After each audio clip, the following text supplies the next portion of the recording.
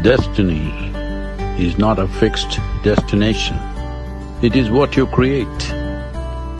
As most part of human perception and experience, unfortunately, is happening unconsciously. Destiny seems like it's a fixed destination.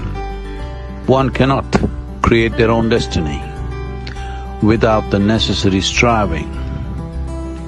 Those who are not willing to pay the price of striving to create what truly matters to them will think destiny is imposed upon them.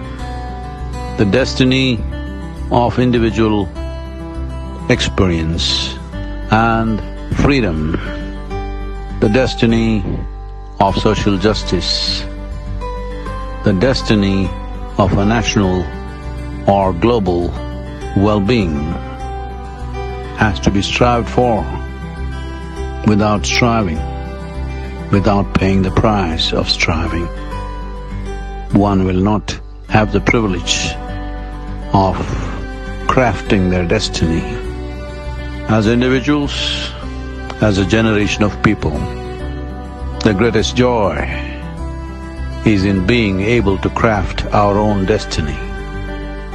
May you know the power, the freedom and the joy of crafting your own destiny.